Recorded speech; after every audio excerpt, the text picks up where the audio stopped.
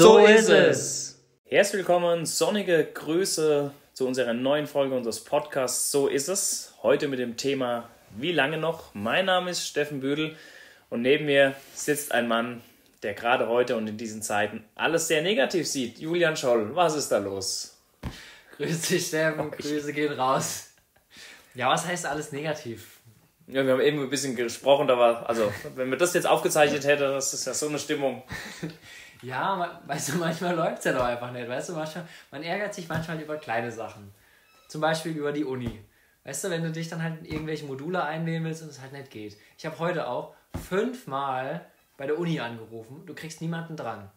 Weißt du, das ist wie wenn du im GV anrufst, kriegst du auch nie einen dran. Also Uni, Generalvikariat. Ja, Letzte Woche warst du krank. Ja, das ist, es kommt da viel zusammen, weißt du? Wenn dann auch so ein Nichtschaffer halt sieht, weißt du? So Leute, weißt du, du kommst irgendwo hin, fragst halt, wo sind die Leute? Keiner da, keiner da. Und du denkst, Leute, muss auch mal geschafft werden, ne? Also, ja, man, man regt sich halt zu schnell über Kleinigkeiten drauf, ne? Aber. Und wenn sie gehäuft kommen, da ist man manchmal so in so einem Hamsterrad, wo man so eigentlich sich ständig über alles aufregen genau. kann, ne? Ja. Und heute unser Thema das ist auch ein richtiges Reizthema, ne? Da, da regen sich auch Leute richtig immer drüber auf. Ja.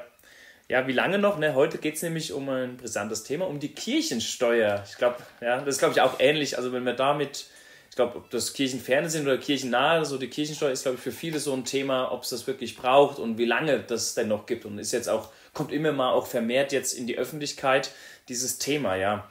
Ich glaube, wenn du so eine Umfrage machen würdest, so auf der Straße, warum treten Leute aus der Kirche aus? Ich glaube, auf eins ist jetzt der Missbrauch halt, ne? Ja, Missbrauch schon lange jetzt, ja. Und auf zwei Kirchensteuer. Ja. Das ist, glaube ich, immer so das Hauptargument, was einer sagt, Kirchensteuer. Das hat auch mal ein Kumpel zu mir gesagt, so, oh Julian, also ich glaube schon an Gott, aber ich habe eigentlich keinen Bock dafür, Geld zu zahlen, deswegen Ja. drehe ich aus der Kirche lieber aus.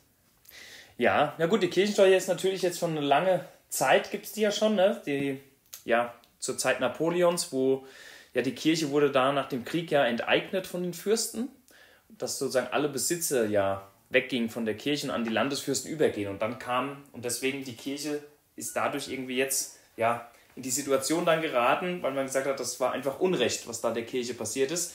Und um der Kirche da irgendwie wieder entgegenzukommen, wurde dann gesagt, man muss es denen zurückzahlen, ne, um, um es dann einfacher zu gestalten, um, über die Kirchensteuer. Und das ist jetzt halt schon ja eine lange, lange Zeit. Das ist jetzt ja Anfang ja, oder 1803. Und für manche ist es jetzt zu lange, wo man sagt, wie lange noch? Könnte jetzt nicht damit auch Schluss sein. Ja, was immer spannend ist bei der Kirchensteuer, man muss halt dazu sagen, sie ist eigentlich so die Haupteinnahmequelle, die die Kirchen haben. Ne? Also man muss dazu sagen, klar, die Kirchen kriegen Kollekten und sowas, was halt gesammelt wird, aber die Haupteinnahmequelle, die die Kirche hat, ist eigentlich die Kirchensteuer. Und das ganz Spannende ist, das haben wir bei uns mal in einem Seminar diskutiert, weil da hatten wir auch diesen Punkt, so warum treten Leute aus der Kirche aus, Kirchensteuer. Und da hat ein Dozent uns erklärt gehabt, man muss sich halt immer vorstellen, für was die Kirchensteuer da. Die Kirchensteuer ist ja nicht dafür da, um goldene Badewannen zu bauen, sondern die ist eigentlich dafür da, damit beispielsweise Kindergärten halt finanziert werden können, Krankenhäuser, also eigentlich alles das, was unter der kirchlichen Leitung steht. Ne? Ja. Und wenn die Kirchensteuer wegfällt, dann kann das halt nicht mehr finanziert werden und dann muss es der Staat finanzieren. Und das ist immer die Frage, das meinte er dann auch so, ja, stellen wir mal die Rückfrage, wenn der Staat, wenn der Staat Geld braucht, wo holt er das Geld wieder rein? Entweder macht halt, leiht sich halt irgendwo Geld bei Banken oder der geht den leichten Weg halt, erhöht halt andere Steuern. Das heißt, würden wir die Kirchensteuer abschaffen, läuft es halt eigentlich nur darauf hinaus, dass halt irgendwelche anderen Steuern halt erhöht werden und damit bist du eigentlich auch in so einem Hamsterrad gefangen, ne? Ja. Ich glaube, der Staat ist auch relativ froh eigentlich, dass es da die Kirchen gibt und dass, der, dass die Kirchen auch da gewisse Aufgaben übernehmen. Ich glaube, für den Staat wäre es schwierig, ne? wenn wir an unsere ganzen Caritas, an unsere kirchlichen Hilfswerke denken, Ja. wo, wo natürlich ähm, ja, die Leute bezahlt werden. Und man sagt immer, ja, die Gehälter der Bischöfe werden da bezahlt. Das sind immer so plakative Dinge. Oder manchmal sagt, wird sogar gesagt, die, die goldene Badewanne, was weiß ich, in Limburg, ne, die wird von uns bezahlt. Das ist, finde ich, immer sehr schade, wenn man da auf so eine Ebene kommt. Ich finde schon, man muss genau gucken, was passiert mit dem Geld. Aber ich glaube, wenn man sich da erkundigt, sind die Zahlen mittlerweile wirklich alle öffentlich. Und eben, wie du sagst, es gibt so viele Einrichtungen und mit, wird so viel Gutes mitgetan. Und ich erlebe das ja auch in der, in der Pfarrei selbst, ne, wenn wir für Caritas sammeln, ne, wo, wo da ein extra Konto ist, dass wir manchen Menschen, Kindern ermöglichen, dass sie mit ins Zeltlager fahren, wo vielleicht Familien einfach nicht die Möglichkeit haben, wo wir als Kirche allein wirklich vor Ort schon sagen, dass, und das ist Kirchensteuer auch oft, einfach wo, wo Leute, wo, wo, wo Geld da ist, was aber wirklich auch an Leute gegeben wird. Und das,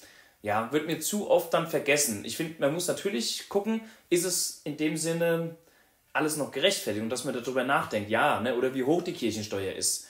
Das, ja, finde ich, dürfte nicht vergessen werden. Klar, man muss äh, natürlich den Leuten recht geben, die sagen, wenn man aus der Kirche austritt, zahle ich keine Kirchensteuer mehr. Das ist natürlich richtig, aber man muss natürlich immer fragen, wie wir gerade schon gesagt haben, wo geht das Geld überhaupt hin? Ne? Und wenn wir jetzt aus diesem christlichen Gedanken ja auch kommen, dann ist es ja auch etwas, was ja auch der Gesellschaft hilft. Und das ist ja wieder dieser Gemeinschaftsgedanke, der ja in unserem christlichen Glauben auch ganz wichtig ist. Ja, und was auch noch, äh, denke ich, ich hab, das hatte ich jetzt nachgelesen, das fand ich eine krasse Zahl, dass äh, tatsächlich eigentlich nur ein, knapp ein Drittel der katholischen äh, Menschen äh, Kirchensteuer zahlen. Das finde ich ganz interessant, weil einfach gesagt wird, Rentner, Arbeitslose und die mit geringem Einkommen, die sind sowieso von dieser Kirchensteuer ja ausgenommen. Und das finde ich auch, dass man da einfach auch guckt. Und ich glaube, ja, ich habe jetzt nicht genau den Betrag, wie viel ich im Jahr an Kirchensteuer zahle. Ne? Das sind 9%. Das sind ja von der, von der Einkommensteuer. Oh, das Steuer, da darfst du mich nicht Müssen wir dann Papa jetzt auch noch fragen, ne? Ja, das sind ja immer so 8, 9 Prozent von der Einkommensteuer. Und ich, irgendwo, irgendwo stand, dass das zwischen 200, 300, 400 bei so einem Normalverdiener, sag ich mal, sein können, 200 Euro. Und ich finde im Jahr weiß nicht, ob das so viel ausmacht. Und wie gesagt, wie du sagst, äh, dass wenn diese Steuer irgendwann wegfällt, ja, wer kümmert sich dann? Ne? Wer bezahlt? Jetzt, wir haben hier Kitas auf unserem Gebiet, die kirchlich sind. Klar, dann übernimmt die der Staat. Aber auch das, da müssen, müssen auch bezahlt werden, äh, die Mitarbeiter und Mitarbeiterinnen. Und ja, so ist das mit der Kirchensteuer. Das ist ein schwieriges Thema auf jeden Fall. Ne? Und ich glaube, wie wir schon gerade am Anfang ja auch gesagt haben, ein sehr diskutables Thema. Ne? Also, wie gesagt, es führt, glaube ich, oftmals auch zu Diskussion, das ist auch sowas, was ich auch immer wieder so höre, so, yo, willst du wirklich bei so einem Verein sein, wo du Geld bezahlen musst für Glauben? Das ist ja, glaube ich, auch mal so ein mhm. Argument, was so gesagt wird, du bezahlst für deinen Glauben, aber das ist ja gar nicht der Sinn und Zweck von Kirchensteuer, sondern es geht darum, dass eben die Gemeinschaft oder das Wohltun, was ja getan wird damit, eben auch finanziert werden muss. So, so ist halt unsere Welt halt auch einfach, ne? Ja. ja, und wie gesagt, dass Kirche einfach eine wichtige Aufgabe hat. Und ich finde es auch für Nichtgläubige, ich glaube, das muss man trotzdem in dem Sinne ähm, verstehen können, dass das Kirche auch wirklich für so viele Menschen da ist, auch für Leute, die vielleicht gar nicht so gläubig sind, aber die dennoch unterstützen. Ob das Besuchsdienste sind, ob das in den Altenheimen ist, wo echt für Menschen, wo, wo die Kirche ein ganz wichtiger ne, Bereich ist, ne, ist einer der, der, mit der größte Arbeitgeber auch neben dem Staat. Also die Kirche ist da extrem groß aufgestellt und das wird mir dann immer zu negativ berichtet in dem Sinne. Klar, wir könnten uns natürlich auch verbessern und könnten vielleicht auch effektiver arbeiten oder gucken, wie wir die Finanzen vielleicht auch besser einteilen. Das auf jeden Fall. Aber ich finde, man dürfte nicht zu sehr kritisieren, dass die Kirche da sozusagen von der Solidargemeinschaft Staat auch mit unterstützt wird, weil sie einfach auch viel reingibt. Das trifft es, glaube ich, gut auf den Punkt. Hast du noch was dazu zu sagen zur Kirchensteuer? Ja, ich finde so ganz kurz so auf den Punkt, Punkt, Punkt gebracht. Das war uns mal wichtig, dieses Thema aufzugreifen, um wirklich zu sagen, nicht nur alles so wie du heute, ne, so negativ zu sehen, sondern dann auch nochmal dahinter zu gucken, ne, informiert euch da gerne auch, wo, wo fließt die Kirchensteuer hin, ne? wie viel Kirchensteuer ist es wirklich, ne? und bin ich, ne, bin ich nicht vielleicht auch froh und sage, ich gebe was von meinem, ich sag schon, es geht, die, die Kirchensteuer bezahlen, glaube ich, uns geht's gut. Und die fahren wahrscheinlich, wir fahren alle trotzdem zwei, dreimal noch im Jahr weg und machen Ausflüge und alles, wo man aber sagt, ich bin mit dabei und unterstütze Menschen damit auch und nicht immer so das Negative. Klar, wenn wir jetzt da stecken bleiben und sagen, und ich bezahle den Bischof, der hat doch genug Geld. Ja, aber ich finde, das ist wirklich, das ist so eine Sackgasse, wo man dann nicht mehr so gut rauskommt. Und das sollte man einfach, das war uns wichtig. Und wie lange noch? Ja, jetzt die Diskussion gab es ja und immer mal wieder in den Medien, dass, dass die Kirche einmal noch eine Ausgleichszahlung bekommt vom Staat und dass dann die Kirchensteuer sozusagen abgeschafft wird. Das ist eine spannende Diskussion. Aber wie gesagt, ich glaube, Julia und ich, wir sind da gar nicht so falsch auf der Spur, dass es dann irgendwann kommt dann wieder eine neue Steuer oder, oder, oder irgendeine Steuer wird erhöht, dass man das. kommt der große Knall dann halt. Und, ne?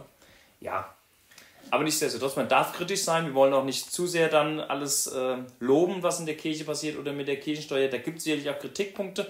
Aber wir wollten heute mal so den ja, bisschen ansetzen und mal zum Nachdenken auch anregen. Ne? Schaut gerne mal auf euren Lohnzettel, wo da Kirchensteuer steht und informiert euch, wo geht die Kirchensteuer hin, was wird damit gemacht. Das ist, denke ich, ganz hilfreich. Dann kann man auch eher drüber reden. Ja, dann vielen Dank dir auf jeden Fall, Steffen. Du hast da noch ein bisschen mehr Ahnung als ich, merke ich.